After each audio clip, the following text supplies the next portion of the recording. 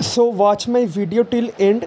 In this video i am gonna reveal that how can you buy or sell your telegram username. Now if you want to sell telegram username three things you need to keep in your mind.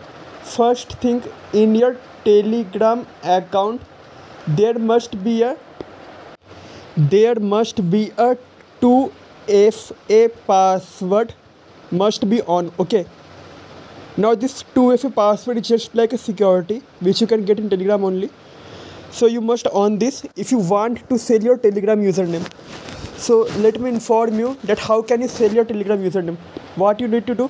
First you need to download fragment okay? You will get the fragment application from play store. After downloading fragment you need to click on this three icon. Just click on this three icon and after you click on this three icon here you can see it is showing connected TON wallet and if you haven't connected your TON wallet you need to connect your TON wallet with fragment and always remember the security pin. If you forget that then you then it will arise a problem for you. Okay you can't sell any telegram username. If you don't remember your forget security pin. After that you need to come on convert to collectibles. Here you can see convert to collectibles. You need to click on this. Okay and after clicking on this convert to collectibles you can sell your telegram username.